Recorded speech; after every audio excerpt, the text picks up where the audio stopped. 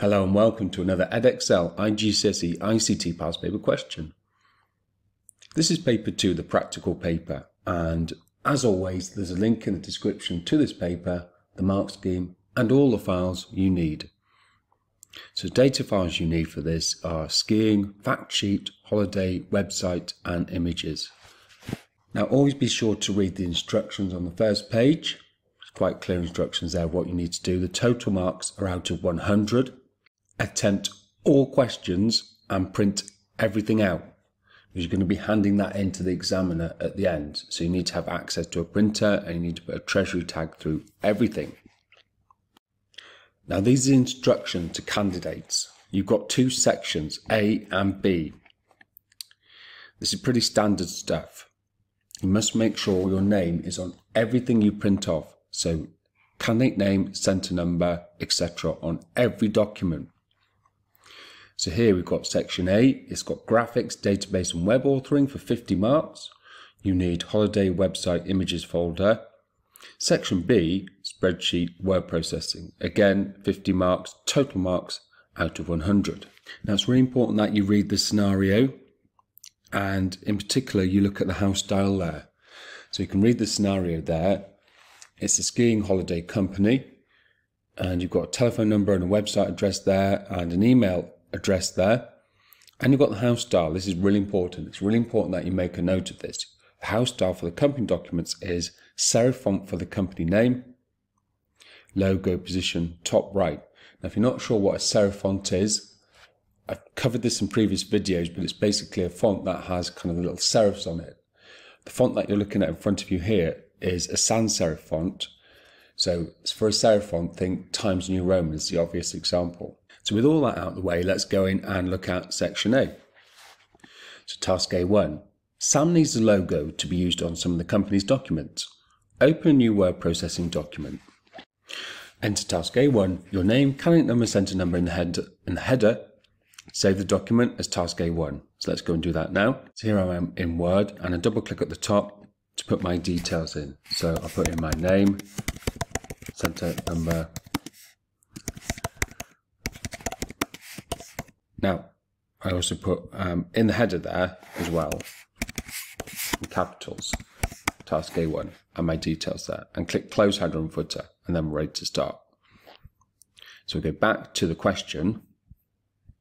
So I need to create a logo, and the logo must be fit for purpose and be a simple drawing that combines lines and shapes, represents skiing, include the company initials TSR. So at this point, I'd just like to refer back to the house style. Serif font for the company name. So the company name, TSR, needs to be in serif font. And there's going to be, this is the logo we're creating now. So just as long as I put the serif font on there, should be okay. But I need to have quite a simple drawing there with lines and shapes. So to create this, I'm going to go to PowerPoint. Now, if you've watched my previous videos of the 2020 paper, you'll, you'll know that I've done videos on how easy it is to create a logo using PowerPoint. Don't need expensive, fancy graphic software. You can just use PowerPoint now to create a logo. So I'm just going to move the screen up so you can see all the options here and see what I'm doing. So now I'm going to go to insert, okay, and I'm going to create my logo and I'm just going to use the shapes tools, okay. So it needs to represent skiing. So I think, okay, I'm going to keep it really simple. I'm going to start with, I'm going to create a box for my logo. My logo is going to go in a box and it doesn't matter if it's big, it should be big. I'll explain why later. And I'm going to shape fill. I'm going to choose no fill. Okay. I'm going to change the outline to black. So black outline. That's where I'm going to create my logo. So back to shapes. So I'm thinking skiing. Okay. Simple logo with shapes on there. I'm thinking skiing. I'm thinking mountains. So I'm going to have mountain shape there and I'm going to go like that. Perhaps push it in a bit like that. Perhaps move this across like that. Now, another shape and I'm going to choose, I'm going to keep with this theme of the kind of peaks there, but this one, I'm going to make it a slightly lighter blue. I'm going to make the back one lighter blue. This one's going to be a darker blue Because what I'm trying to represent is the back one's in the distance, this one's in the front. I'm going to do another one, and it's going to be in the very front, and that's going to have, that's going to be the lightest color blue. So just push that up like that, and this I'm going to push like that, and this is going to be the darkest shade. So I think that one there, I'm going to choose that, and this one's going to be the dark blue. Now, okay, now go back to the question, so simple drawing that combines lines and shapes, yep. Represents skiing, yep. I've done mountains on mine, include the company initials TSR, so that's what I need to do now. So back in PowerPoint, and I'm going to, to insert, and I'm going to use word art for this. Just keep it really, really simple. Now this needs to be a serif font. So I'm going to click on Home, and I'm going to choose a serif font. So scroll down. I think I'm going to go all the way. There's plenty here. I could choose Courier. Uh, I'm going to choose the classic font there, Times New Roman. So just go all the way down, scroll all the way down, Times New Roman, bold and italic. Now, I think that could be a bit bigger, too big. So there's a bit of white space there, so I think I might just kind of fill that like that. And I'm pretty happy with that. That'll do. It doesn't need to be amazing. It's three marks. Doesn't need to be amazing to get the three marks. As long as it's got lines and shapes, it's got the company name on there in a serif font, you're okay. So let's turn it into an image. So we select it and I choose right click, save as picture. And I'm going to save that. Now in your exam, you save it in the proper folder and go back to the exam. We'll see where we need to save it. It should be saved as TSR logo. So as long as you save it as TSR logo, it can be any image type. I'll choose PNG, click save. So now we've created our logo and we can close down PowerPoint. Don't actually need to save it because it's there. So let's scroll down. Do not insert a copy of the logo into document task A1.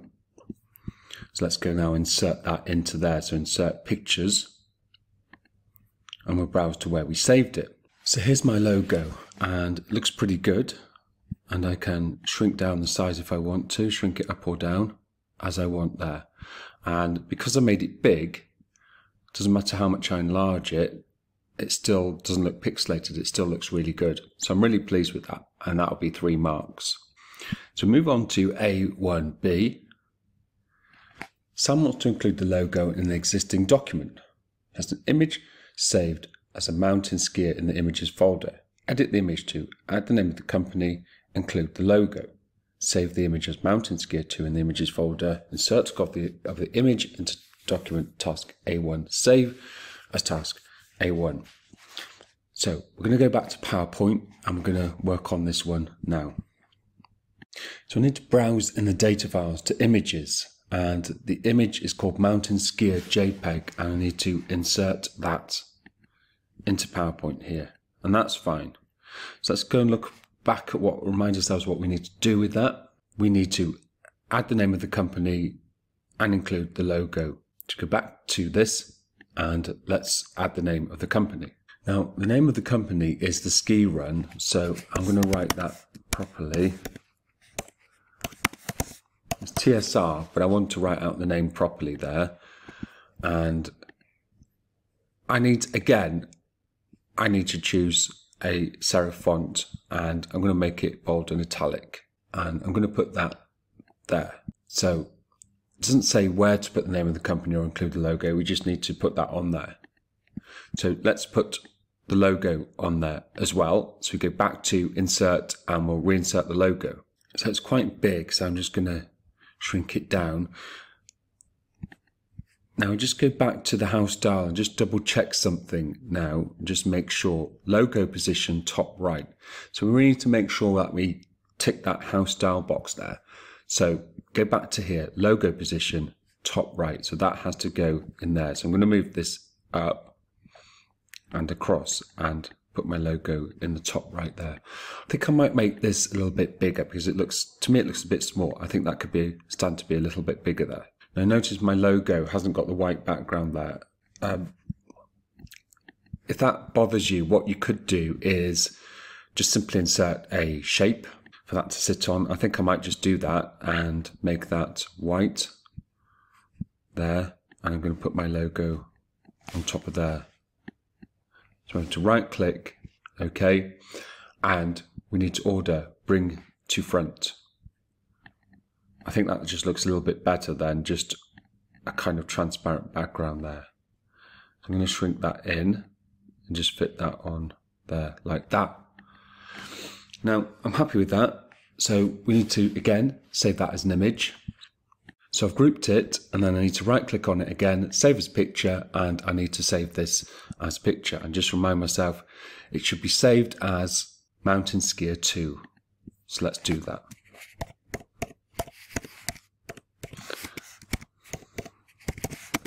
Save. And the final bit of this is for me to insert a copy into task A1 and then I would then go and print task A1. So let's go insert that now. So I'm really pleased with that. And now I can send that to the printer. Obviously make sure that task A1 is on the top in the header and definitely your name, center number and candidate number there. Okay, really, really important that you do that. So that completes task A1 for 5 marks. Task A2. Sam has collected information about her guests and their ski holiday accommodation.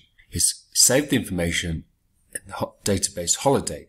The database has three tables, hotel, guest and booking. There's a bit of information about that. Structure of the hotel table is this. So you can see the field name there, data type and a description, guest, field name, data type, description, and booking pretty straightforward. Open a new word processing document, orientation to landscape. So let's change that orientation to landscape. We go to layout, orientation, and choose landscape. I'm guessing they say choose landscape because you can, going be doing some screenshots and it needs to be, they want it in landscape form. Enter task A2 candidate name into the header. So task A2 details, etc. That must include your name, etc. Okay, for the sake of time, I'm just going to write that. Save the document as task A2. Sam wants to use a form to add extra hotels the hotel table. Open the holiday database, open the hotel table. So here's the holiday database. Now if we just go to database tools there and we have a look at the relationships, we can see one to many and then many to one there. So you've got guest booking. Okay, one guest can have many bookings there. Um, a booking can belong to one hotel, but a hotel can have many bookings. So that's one-to-many relationship there. So we just close that, just so you've seen that, and it said to open, back to here, open the hotel table and create a form. So here's the hotel table. I need to go to create, and I need to create a form. And I'm going to use the form wizard. Now, it must have the table, table hotel there selected because I've already got that open. That's already there double arrows there to move them across. Next, next. Okay, I need to, what title do you want to give the form? We can change that later, but I want to modify the form's design. Finish. Okay, so here's my basic form that I need to edit. And we need to go back to the question there. Form must, must match the house style. So that means the logo's got to be positioned in the top right. And we'll put something sensible here. Right, the ski run. Okay, and again, I'm going to choose Times New Roman for my font there. I'm just going to leave that as that. I'm going to get the logo on there now. So go to go to, I'm going to insert image and browse to my folder there where I saved my logo in. I'm going to place it on there. Now this is a lot easier. So just a little tip now. I think this is a lot easier than using insert logo. Because when I tried to insert logo, I seemed to have quite a few problems with the placement of it. Just inserting an image seemed to work better. I'm going to edit the title and just going to include the word hotel because I'm just looking at the mark scheme there and to specifically say that it should include the words hotel. But that should also still be a serif font like that. So Let's go back to the question. Okay. Suitable title be customized so the width of the hotel ID field is two centimeters. So this is the hotel ID field here. And I'm just going to move this across. It should be two centimeters in width. So I need to edit this here. Okay, I'm going to change that to 2. So that's now 2 centimeters in width there. Hotel name field is 6 centimeters. So hotel name field needs to be 6 centimeters. So go to the property sheet again and width, and that needs to be exactly 6 centimeters. So I'm just going to delete that there. So that is exactly 6 centimeters there. You can take a screenshot of that if you want to. Save the form as hotel underscore form. Take a screenshot of your form design view showing the changes of the field width. Paste the screenshot into A2. Let's do that now. So we're going to File and Save As. Save Object As. Save As. Okay, so it needs to be saved specifically as hotel underscore form. So click OK. And now that's saved. Now it does mean I've got two forms there, but I can delete that other one later. I'm just going to close that now. And I can delete that extra form there. I'll just cut that. So we open this up again because there's a bit more we need to do. We need to show this in design view. So you go to hit over here, we go to view and design view, and we need to see those properties that we've changed. So we're back over here. We can see the width there is two centimeters. So we'll print screen that and put that into there. And then we'll also print screen that other one there, print screen, and we'll paste that into there. If you want to, you can highlight the changes there. I'm sure the examiner will be looking out for that and know what to see there. Resave as task A2. So we'll save it now and do not print at this stage. Task A2B. Another hotel must be added to the list of hotels offered. Use the hotel underscore form you created in A2A to add these details to the hotel table back to that form and we'll add these details here. It's obviously easier when you've got the paper in front of you. So view, design, we'll go to form view. Now we need to click on the end, last record, and go to next, and we're going to add it here. So hotel ID H201, hotel name, Keltischer Berg, so make sure we spell it properly. Yep, Resort Innsbruck, so we can select Innsbruck there. Ski pass, yes, and price range is medium. Okay, and that is done. Take a screenshot of the completed form, paste into A2, but do not print, and that is two marks. So I'm going to take a screenshot of that. I'm going to go back to here, and we're going to put return. We're going to paste that in there. A2C. Sam wants a list of hotels that are in Obergurgl I booked for 14 nights, including ski pass. Create a query on the hotel and booking tables to produce the list. Okay, let's go and do that now. So go back to access. We need to close that. Okay. So what we need to do now is create our query. So we need to create and query design. I don't want to use the wizard. Now it is booking and hotel. I need both of these tables here. Okay. So I'm going to go through this now and I'm not sure, quite sure how I'm going to do this. So I'm just going to add all of these fields in. I don't need to show them in my final query results, but I want them in there. Okay. So location there. So first thing I need to do is go to resort and I need to type the resort in there and spell it correctly. And what I usually do with something like this is I run the query first just to check that that actually works. So yeah, that's resort there. That's okay. We'll do it bit by bit. So we go back to design view and we do the next section. So booked for 14 nights. So now I need to look at length of stay. That is in booking. Now it's dura duration of stay equals 14.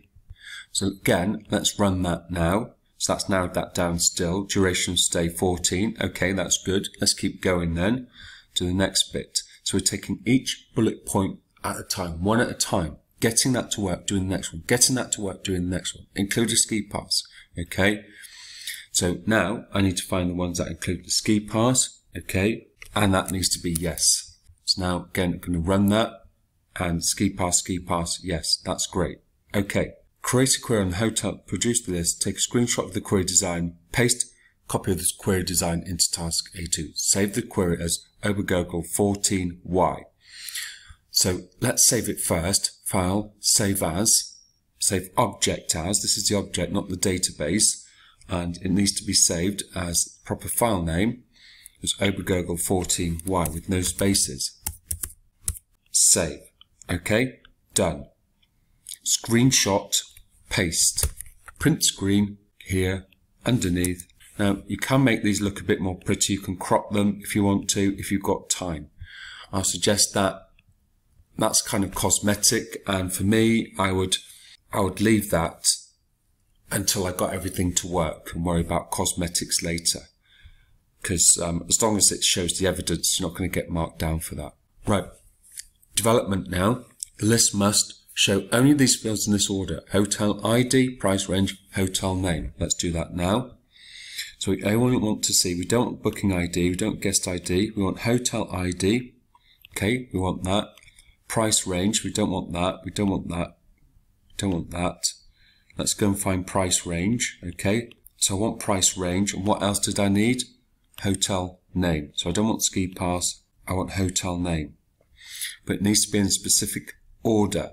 And the order was hotel ID, price range, hotel name. So hotel ID comes first, then price range. So the easiest way to, to deal with this, because price range has got to come before hotel name, is just simply drag that like that. So run that again and it should look like this. It's not quite finished though. Descending order of hotel ID. Let's do that now. So we go back to design view, hotel ID sort, descending order, run, and it should like look like that. Paste into A2. So we print screen again, underneath here. Again, if you want to take the time to crop it and make it look a bit better, you can do. I would suggest again that is cosmetic and do that only when you've finished everything you've got time to spare. Otherwise, don't worry about that too much. So that is three marks there. So we can now move on to A2D. Open the guest table. So now I can close that. Yes, I will um, save this. Yes, I will save that. Okay, now I open the guest table here. Sam wants a list of the guests who were born in 1990. The list must include the guests born in 1990. Showing only those fields here sorted into ascending order of date of birth. Create a, create a query on the guest table to find the information. Save it as 1990 underscore query. Let's do that now. So we go back to create and query design. And now we need to double click on guest. So let's put all these fields in. Now, date of birth if we just go back and look at the guest table, we can see that the date of birth is formatted in a way that says, um, for example, 1205 2000. It doesn't actually just say 1990. So we need to use something in here called like. I need to type in like, quotation marks, star star, okay, for day, slash, star star, slash, 1990. Okay, to find all years of 1990 there. So now go back to query design and press run. Now, I admit I made a mistake. Star star turned out to be um, quotation marks. So let's run that again and that works. So it's really important that it looks exactly like that. So we run that again and these were all the people that are born in 1990 there. So back to design view. Let's go back to the question now. Show only these fields in this order. Email, first name, date of birth. So we want email, yeah, first name, yeah, and date of birth. And it needs to be in that order. Email, so we need to drag that first. Email, first name, date of birth. Run, be sorted into ascending order of date of birth. So back to design view, date of birth should be in ascending order run, and it should look like this. Ziggy at the top there. He was born on the 4th of February 1990. So save the query as 1990 underscore query. Take a screenshot of the query design. So let's save it first. Remember file, save as, object. It's an object, not a database. 1990 underscore query. Save, screenshot of the design. So back to design, print screen, and then paste. You can take the time again to crop it when you've got everything to work. That's just kind of beautification. It's not really that important. So that's that done. Do not print at this stage. Sam wants to produce a database report based on the 1990 query. Create a database report to show those results. Logo, house style, suitable title, only require fields, show records sorted as required. One side of A4, easy to read, saved as 1990 report, details in the footer. Let's go and do that now. Let's come out of this. We go to create and we use, we need to create a report. We use the report wizard and we need to make sure we choose 1990 underscore query. We want all those fields. Next, next, Okay, I've already sorted the data, so I shouldn't need to do anything here. Next. If not, I can come back and look at that again. Next. Okay. Now, it needs to be saved as 1990 underscore report, not query. So let's edit that now. Modify the report's design. Finish. So again, we need to include a suitable title. Okay. So obvious one here would be people, don't misspell it, born in 1990. Now again, I need the logo in there. It needs to be top right. And remember what I did last time? Okay.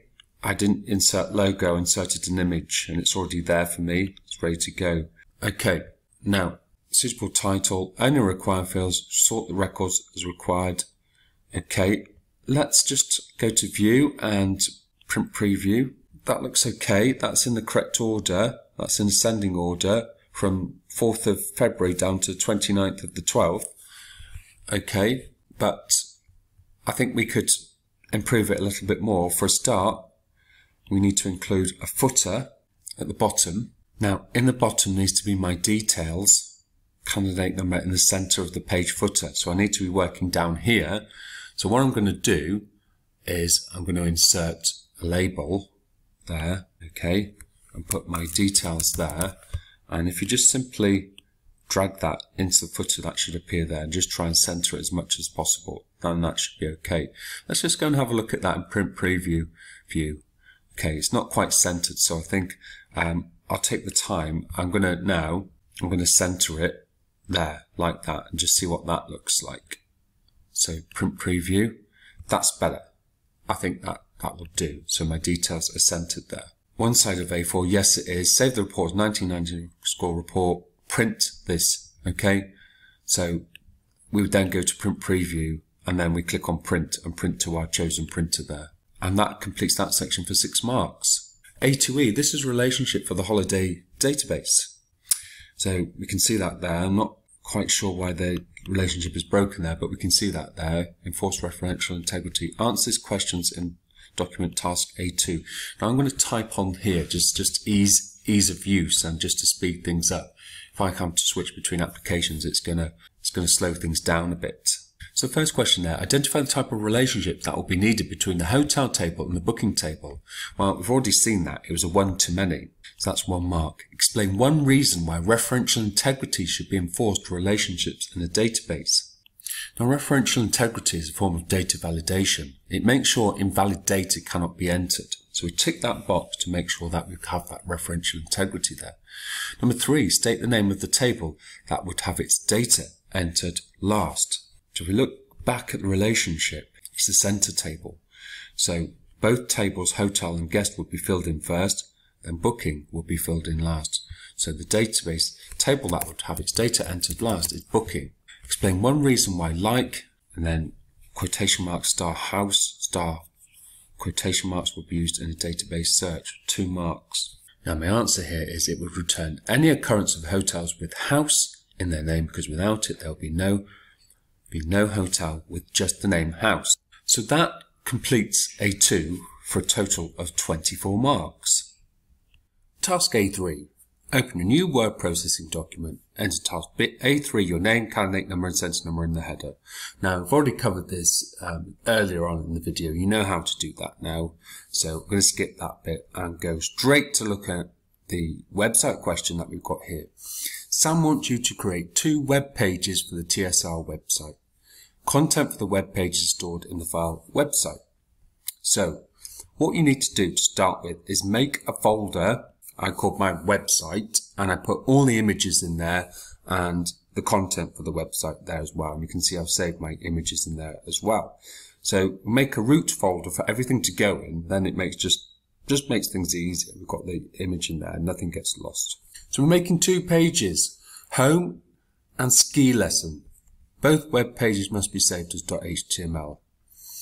Create the design based on this wireframe here. And we need to use these HTML elements. Later on, we'll need to do screenshots of the HTML code to be able to see that we've done that. Now, just a word of caution here. Some people ask me if they can create the web page in Publisher. Yeah, of course you can create a web page in Publisher quite easily. Problem is, you can't demonstrate HTML elements. So that's going to be a bit of an issue. Software I use is called KompoZer, and I've done previous video where I've used KompoZer before. Kind of running out of options really nowadays for web authoring. KompoZer is a piece of software I'll link to in the description. It's already 10 years old and you may have some problems downloading it, particularly Mac users won't be able to run it. But it's what we've got at the moment. It's either that or use, um, perhaps use Dreamweaver, but I find the later versions of Dreamweaver particularly complicated and not really suited to this kind of question. So I'm going to use KompoZer, and again, I'll link to it in the description. You can download it if you want to. So now let's look at what we need to do. We need to create a homepage based on this design. You see we've got company name there, page title, image, etc. Now, what doesn't say there, if you look back at the house style, you need to have the logo in the top right hand corner. So I'm going to need to do that. Now I'll go to KompoZer and I open up KompoZer now. And I think what I'm going to do is I'm going to use tables. So I'm going to create a table one by two there. And I'm going to place my title in here, the ski run, and I'm going to make that H1. I'm going to center that. And in the top right hand corner, I'm going to place an image, my logo. Now, I don't want alt text in there. Go over that later, but I don't want alt text in there. See, that's a little bit too big. So just shrink it down there, and I think we'll justify that over there. What I might do is just, okay, let's save it so this should be called home. And see, I've already got a home, so I'll just save it as home 2. Now, as you go through this, it is worth just opening that up and just seeing what that looks like. Now, it's not great. I need to get rid of the border of the table. So we go back into KompoZer and we'll just edit this table here. Table cell properties. Right click table cell properties there. Just go to table and I don't want any border pixels there. Click OK. I will to change that to zero and click OK. That looks better. Now, just save that. Let's go back and refresh this. Have a look at what this looks like. That looks a bit better. So now we move down to the next part of what we need to do. Page title. And we get the page title from this document here. Page title is all about the ski run. So come down underneath there and I'm going to type that in. That's all about Uh, I'm not sure that's got capitals in every letter it has. So to specifically say that that should be H2 and underline. So let's go and do that. Let's highlight it, H2 and underlined. And I'll just move that up a bit, as much as possible. That will do there. Okay. Now we will we'll leave that there as it is. Maybe that should be centered. So I think I'll try and center that. Okay. That looks good. So now what I need is column down the left hand side for my links, introductory text in the middle and two images. So to do that, I'm going to go back to using tables again. I'm going to insert a table. So I need it to be three. I'm going to create a three by two table. I'll just create a three by three table. So let's format the table because I don't want to see the table there. So we will just format that and we'll change the border to zero pixels. Now using tables to create web pages isn't ideal, but with this software, it's probably the best way around that. Let's do the links down the left-hand side first. So we'll create one called home, and then we need to create one called ski lessons. So in the middle here is going to go my text. So now I'm going to simply copy and paste that. Control C and Control V, paste that in there. Now, I might just move that down a bit there on the right hand side needs to go an image and I can choose what images they are. There should be two and there should be one underneath the other. So I'm going to start with inserting an image, browse that folder, go to my website here. I'm going to choose that one. I'm going to open that. So you can put alt text on there. I'm going to type that in now. Dimensions, custom, and we're wanting 200 by 200 there. Click OK. Great, that looks really good. Let's get the other image underneath. Browse to the folder again, and I'm going to put some text in there. Skis. Dimensions, again, custom. Change that to a 2, 200 by 200. Click OK. Now, quick save. Let's go and have a look at what that looks like. Okay, starting to come together. Looks pretty good to me. So keep going and keep building the page. So we'll go down. Let's add the please contact us on email for further information. Let's add that now. So we need to scroll down. Please contact. So just double click, double check what that says. Please contact us on email address. Now, the email address, where do we get that? That's back up here, remember, in the house style section. And I want to copy that. Hmm, be careful to click, when I click on it, it opens that up. Now, okay, you'll have to type that in and make sure you don't get that wrong. On here, I have the luxury of being able to copy and paste, but you won't have that in your exam. So paste that in, go back to that page and just check for further information.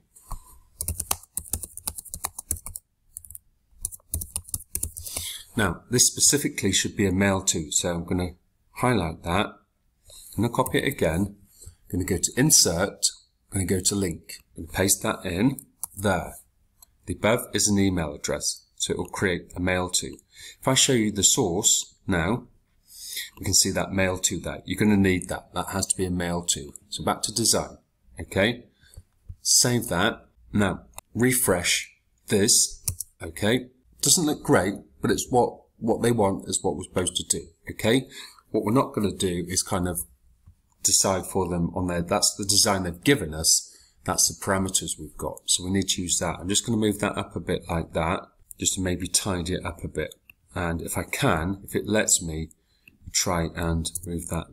No, that didn't work. I'm going to have to leave that like it is. Now, this looks okay here, but we could possibly have a bit more space there, space that out.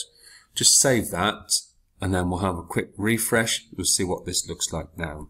Okay, it's not going to be perfect there. That isn't necessarily centered, so I'm just going to leave that as it is. I'm going to center that there, maybe push that up a bit.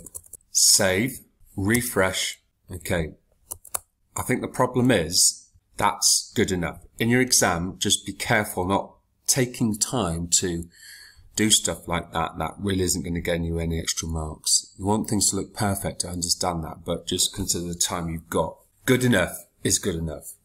Let's look at the background colour. Blue-grey.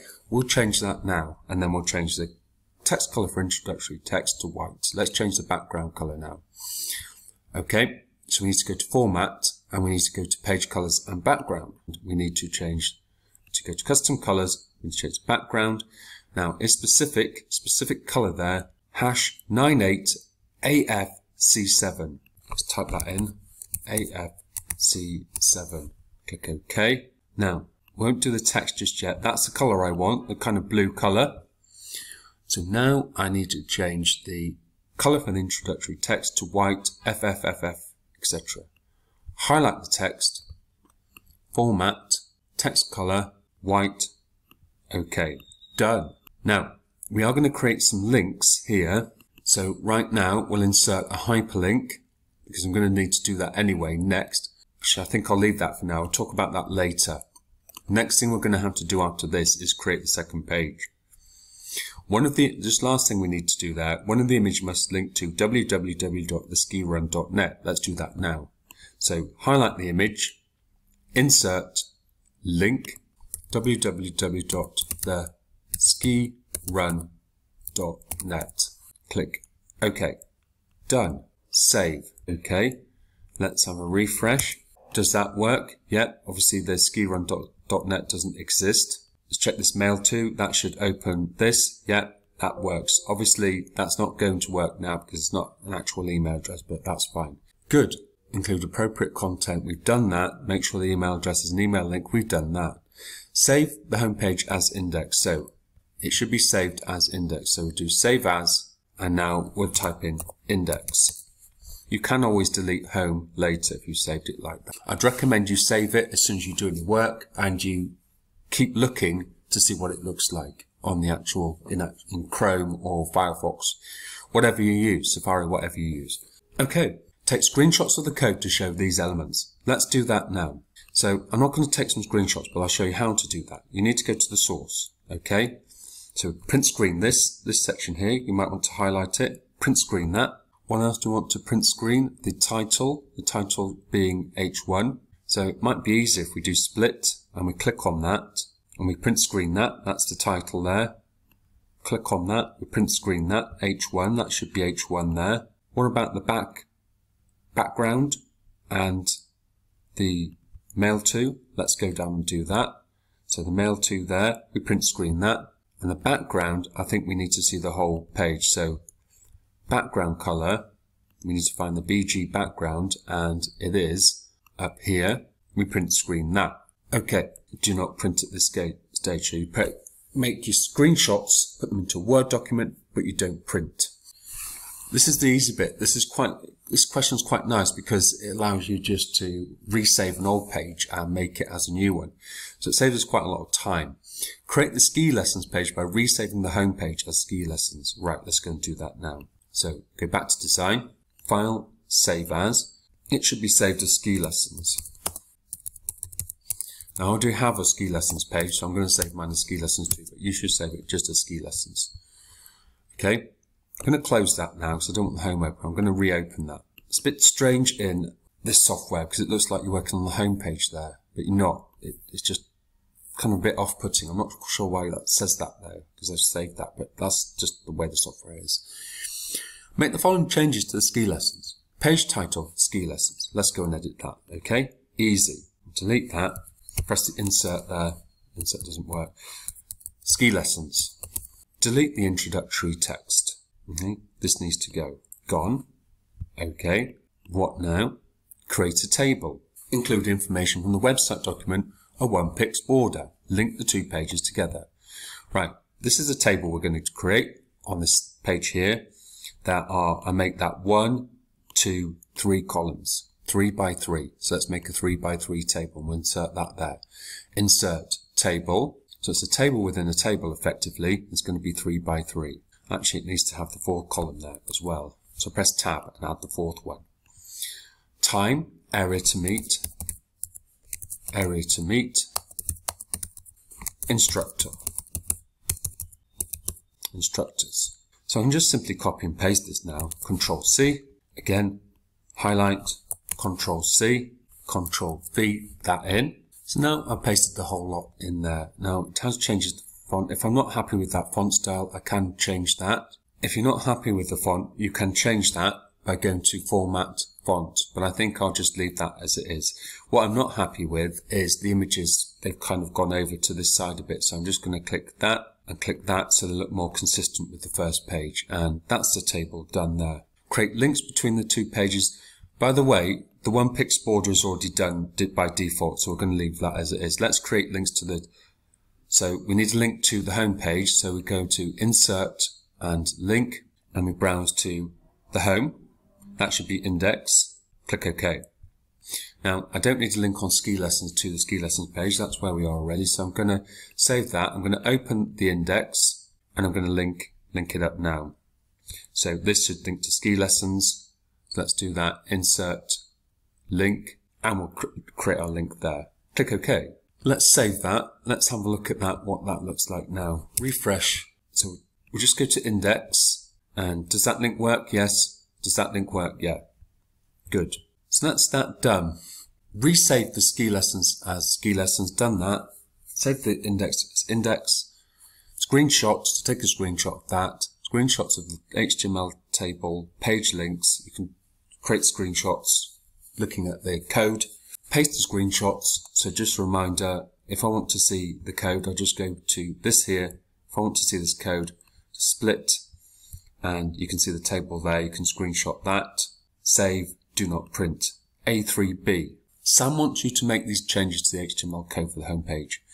Text color for introductory text, indigo. 4B0082. Let's do that now. So we go to home page. We want to change this. So format, font, text color. And we're going to type that in manually. 4B0082.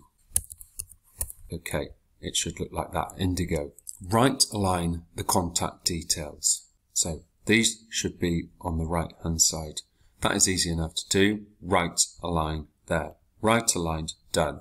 Resave index. Take screenshots, make the HTML code. Do not screenshot all the code, just the code to show the changes. Let's do that now. Split, click on here. Okay, we can see the color there. Print screen, that. Okay, resave it. Now, we're into some theory questions now. This code was used in the previous website, and then you got that code in the brackets there. Answer these questions in document task A3. I'm going to, so you would write an A3, but for time's sake, I'm going to type on here. First question, state one reason why the code will not display the image. Now, it won't display the image because there needs to be quotation marks around the image e.g. slalom.jpg with quotation marks around it. 2. Explain one reason why alt text has been used on the image. Alt text is used to help people who are visually impaired. So when they hover their mouse or click on the image, it will tell them what the image is. So there's my answer. Some people are visually impaired and the alt text will tell them what the image is. So scroll down and look at the next question. Three, one advantage of using a template when setting up web pages. Um, quite easy to ensure consistency. So each page looks like the one before, which helps you to know that it's the whole website, they're all together, it looks more consistent. So there's my answer there. This is to ensure consistency. And that completes A3 for a total of 21 marks. And it also completes section A for a total of 50 marks. Section B the ski run offers holidays in Europe. The spreadsheet skiing contains information on ski equipment and ski slopes. Two worksheets, members and details. Open the spreadsheet skiing, open the worksheet members, and to task B1, your name, candidate number and centre number in the header. So this is a spreadsheet here. So we need to go and look at the header. So we go to view and go to page layout and then I can get to the header. Then I can enter my details there. I'm going to put them in the centre for now. Click out of it and now we can go back to view and back to normal to get back to here. So we'll scroll down and have a look at task B1A. Insert a new row at the top of the spreadsheet and enter the heading Ski Information 2021. So just simply right click there, insert, and we're going to insert a new row here. Merge and center cells A1 to E1. I'm going to do that first before I, before I add the details I want in there. So I'll highlight the cells there and go to home and use this one here. This is merge and center. So now I'm going to type that ski information 2021 into there.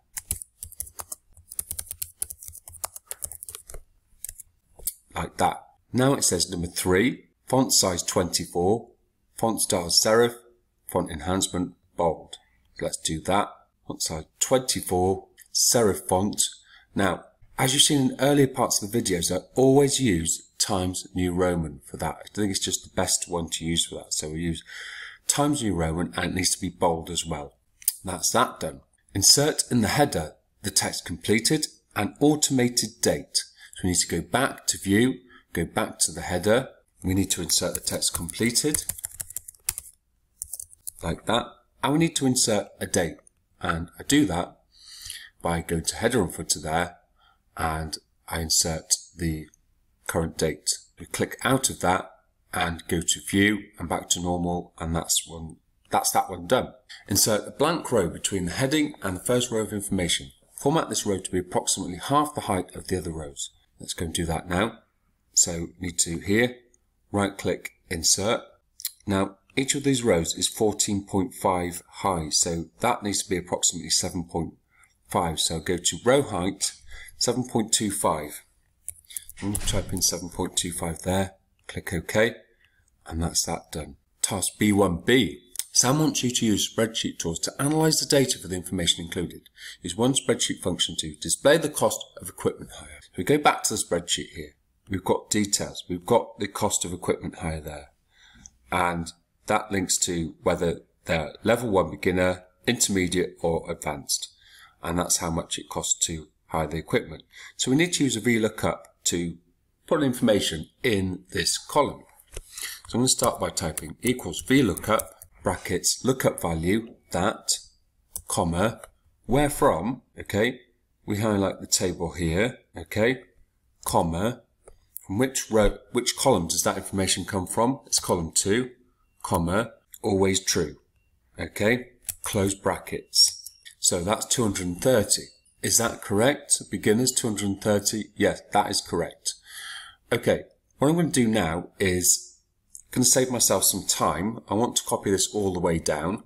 So I'm going to put dollar a dollar 13 this is absolute cell referencing.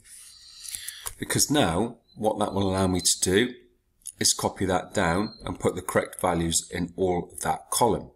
I'm going to have to do that anyway, so we use that anyway. It's just something we'll have to do later, but we'll do that now. So intermediate should be 280, that's correct, and advanced should be 340, that is correct. Okay, so that is that one done there. Let's go to number two. Use one spreadsheet function to display the cost of the ski pass that includes 20% discount if the cost of the equipment hire is more than 300 euros. So if the cost of the hire is over 300, so 340, then they need to get they need to get 20% off. And that is 20% off the cost, cost of the ski pass. And the ski pass there is 150 euros. So we're going to construct a formula here. If C4 is greater than 300. Okay, so value if true, okay, details, so now, okay, details, that cost there, okay, so value of true details times multiplied by 80% value. If false, it's just that. Close brackets, see if that works. So 230 should be a cost of 150 because that's not over 300.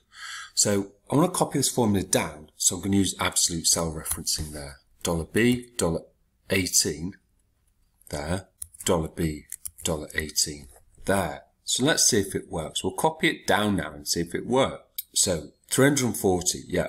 So that's 20% off, which is 120. So that looks like that worked. 280 is under 300, so that should just be 150.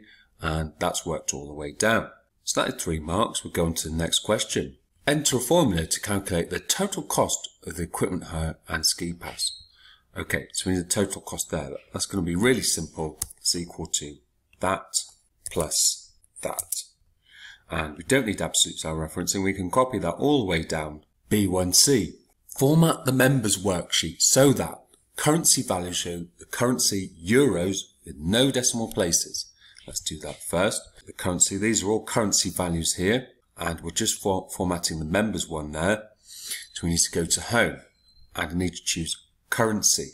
Default for me is pounds, but I need to go to more num number formats there, and instead of pounds, I want to choose euros. So scroll down or do a search till we find euros. So I'm just going to choose euros there, and I'm just going to choose euro. Okay. Headings are wrapped to use the space efficiently. Let's do that now. So we need to wrap these headings. So just simply, um, what we're going to do, we click up here to wrap text and I double click here and then that's now wrapped. If I want to, you can format that and you can choose um, top, align top if you want to. I think that looks a bit better. All data visible. So make sure all data is visible. That looks pretty visible to me. If not, we can just simply double click there double click there so it's all visible. Double click there, double click there, double click there, etc. I think I might just space that out a little bit there. I think that's a little bit better. The row and column headings and the page header are displayed when printed. So let's just go and have a look at that and we'll go and print.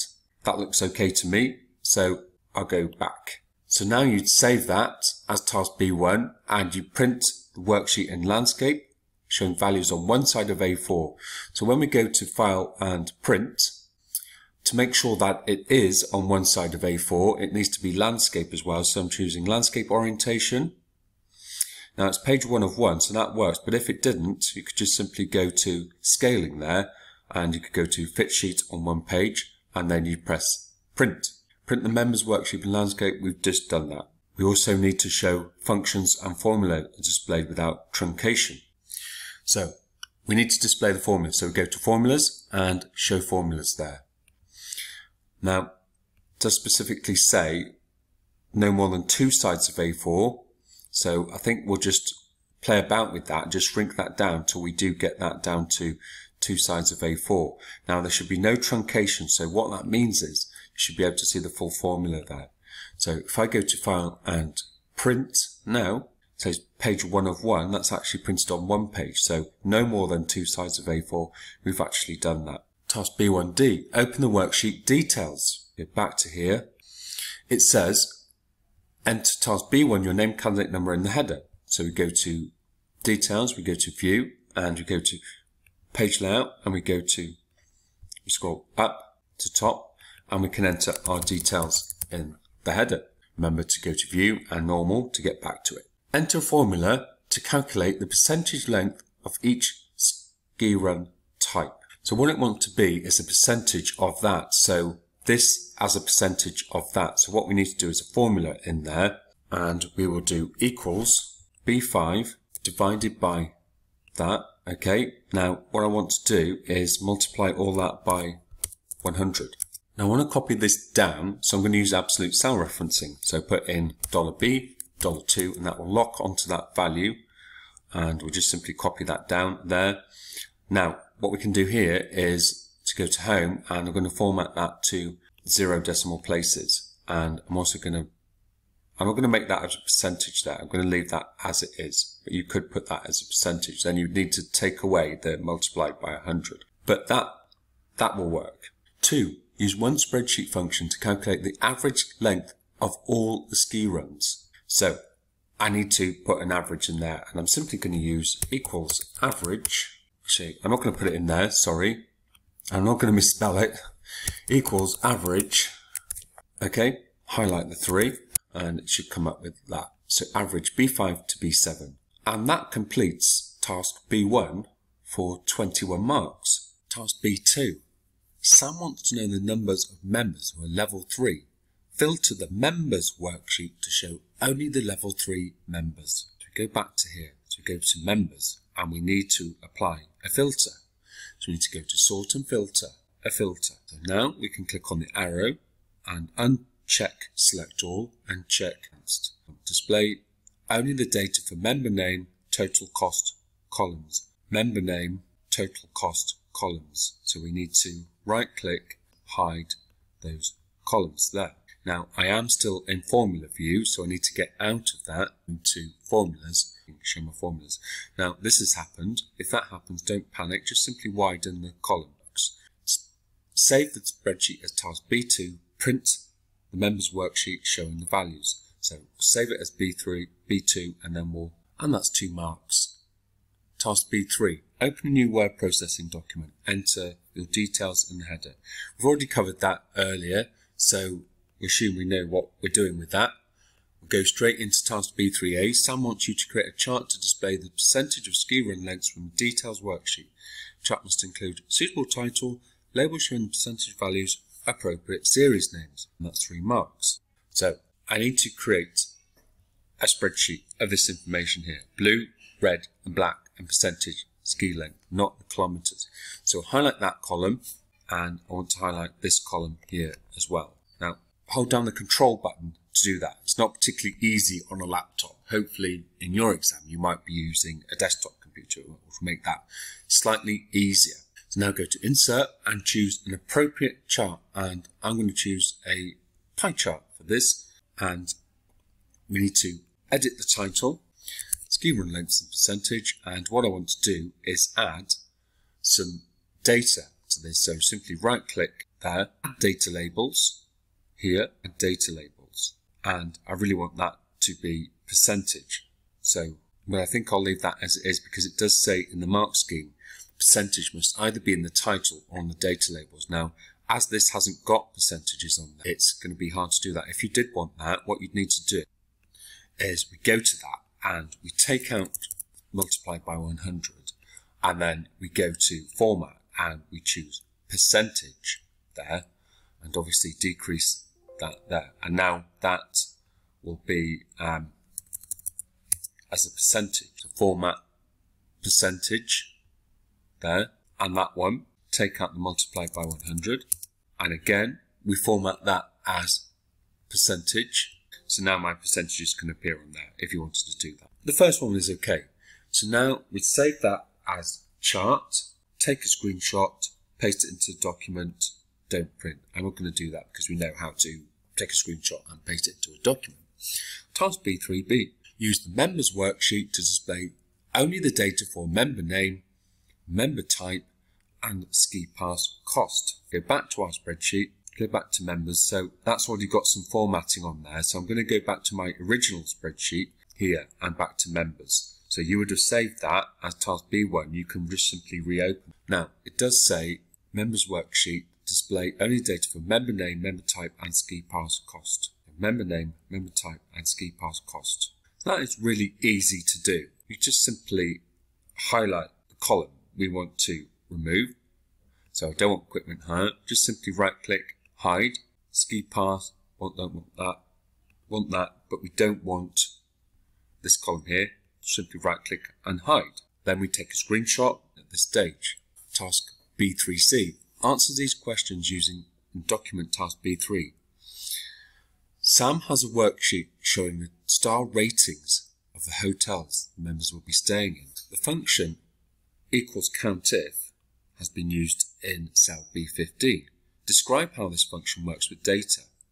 So this is slightly different now. This is what you're going to type your answer in. And to save space, I'm just going to simply write on this document here. Okay, so the countif looks in the cell ranges B3 to B14. It compares the values of the cell to match the content of cell B7. It returns a value of 3. State the, the feature labelled A. It's the named range. Save and print. So that completes B3 and that completes the spreadsheet section for another total of 8 marks. Task B4. Open a new word processing document. Enter task B4A, name, candidate number and centre number in the header. We've already done that before in previous questions, so we know how to do that. Save the document as task B4A. Sam wants you to create a fact sheet to show the price of ski lessons. Use the fact sheet document for this task. So what we got is this is the fact sheet and we are to use this to create the fact sheet. Instructions in italics. So in italics there, which is this here, that's our instruction. So welcome to the ski run, ski lessons offered, subheading, heading, etc. Which create that in Word. Must follow the fact sheet document, one side of A4, including the heading, table, information. So let's get started.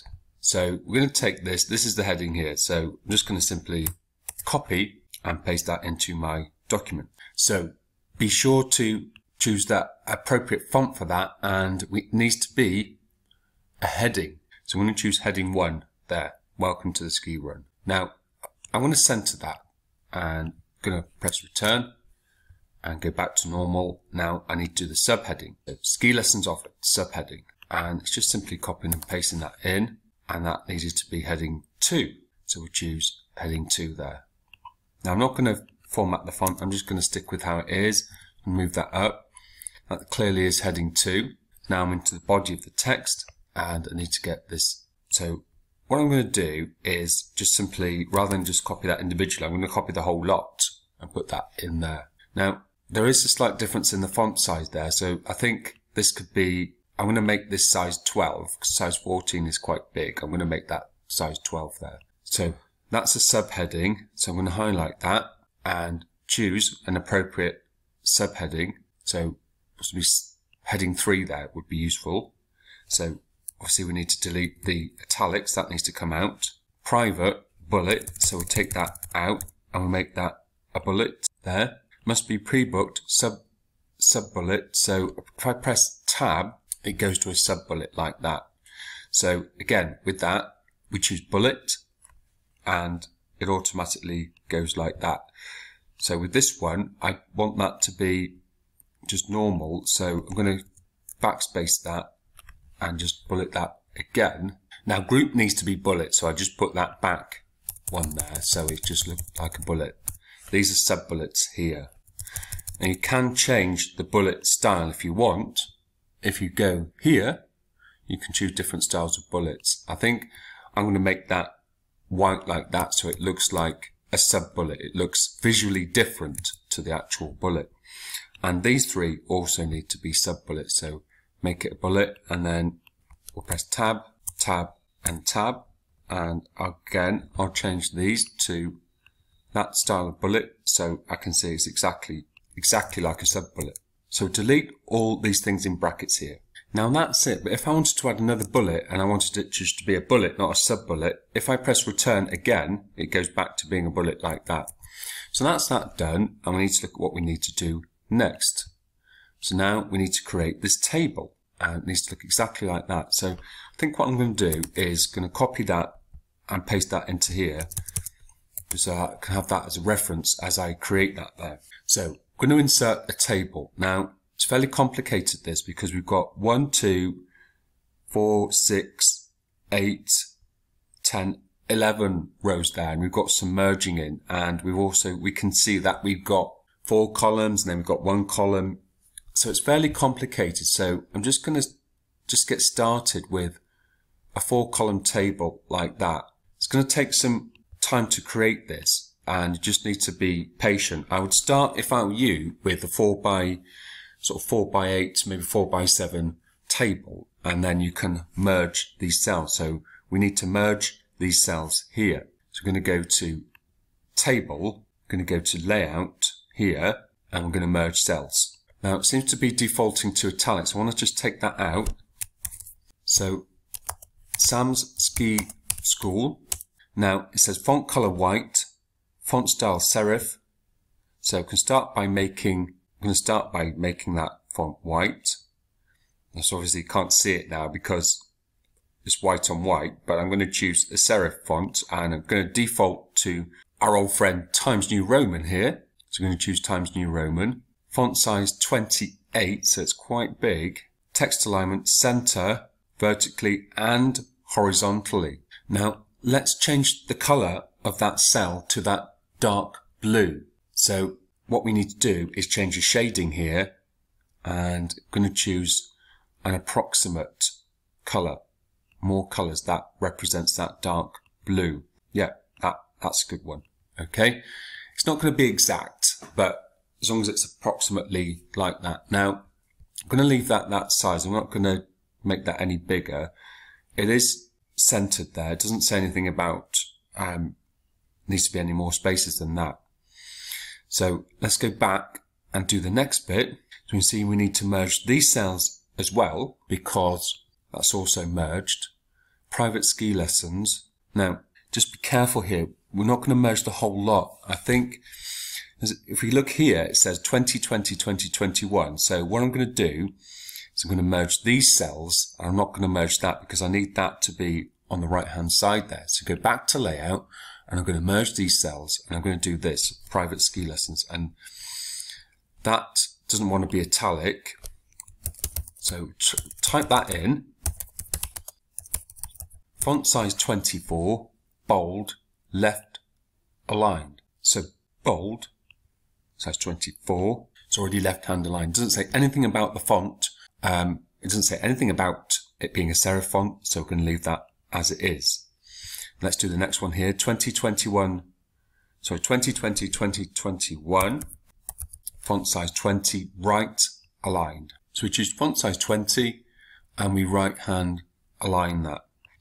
Now I need to make these gray and I'm going to go to table design. I'm going to shade that in kind of mid gray like that. And I'm going to do that there shading as well. Now, there isn't actually a board around that, but I'm going to leave that there. I think I'll leave it as it is because as long as we've got evidence of merging cells that we've done that, then that's okay. So now we need to copy this next bit. So two, three, four, five, and six hours AM. So I'll do that now. So two, three, four, five, six hours AM. Now that does look like it's a serif font. So we're going to choose our old friend Times New Roman and it does look like it's a kind of blue color.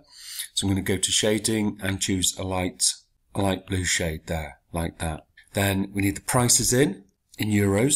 Now I need to get the euro symbol in there. So I'm going to go to insert and I need to get the symbol in there. So I'm going to choose symbol here. And I can already see euro there. So I'm going to select euro, euro sign there. Now I need to write that all the way down in this column down to 420 euros. Okay. And now I need to put, fill in this column here and it says PM, PM. That is lowercase. I'm just going to change that back there. If that happens, just Control Z and you'll get rid of that. That must be lowercase. You need to follow it exactly. And again, that looks like a serif font, so we're going to choose Times New Roman there. I'm going to go to Table Design and change the shading to blue. Now, looks like we need to move this perhaps across, but I think that's okay as it is. So what I need to do now is write 210 euros. So I'm just copying and pasting that euro symbol there.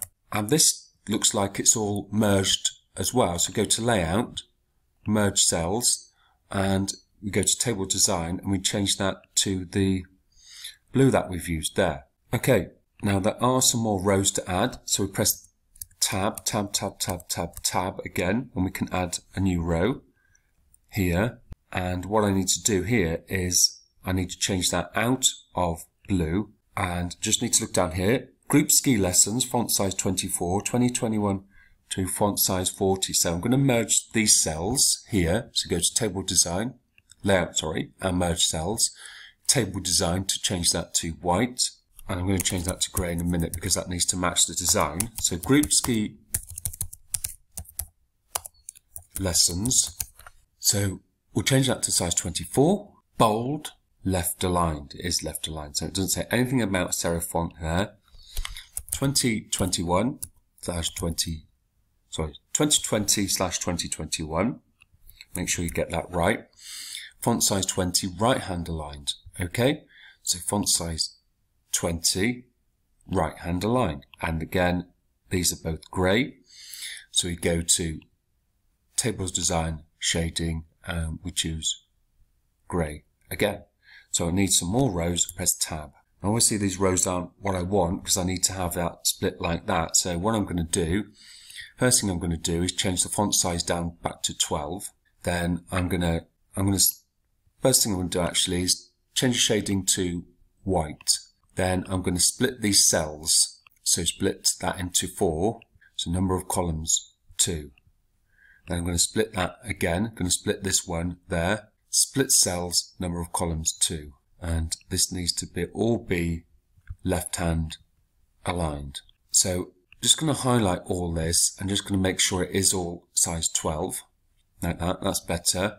And I'm going to press tab, tab again. Then I've got enough rows there. So one day, two days, three days. Now that isn't in bold and it looks like it's in a serif font. So let's get it out of bold Let's get it into the serif font there. So 100 euros, 216 euros and 254 euros. Five days, six days, extra day. 282 euros, 308 euros and 50 euros.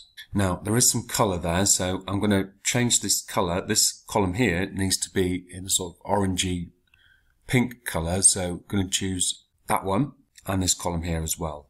That one. And that looks like that's completed. That pretty much matches that, and that's that's okay. I'm really pleased with that. So I'm going to delete that now. I just double check I'm happy with that. Yeah, that's okay. Delete that. I've done that. Good. Okay, back to the fact sheet. It does say here, boxes with times, days, and monetary amounts must be set to Calibri size 16. So we didn't do that. Let's go back and do that now. So that means all these things here. I thought it was a, a serif font, but it isn't.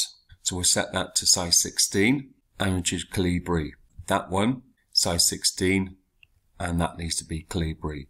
So I need to do these ones here as well. So remember, size 16 and Calibri. Just check we've done all of that. I believe that's it. I believe we completed that.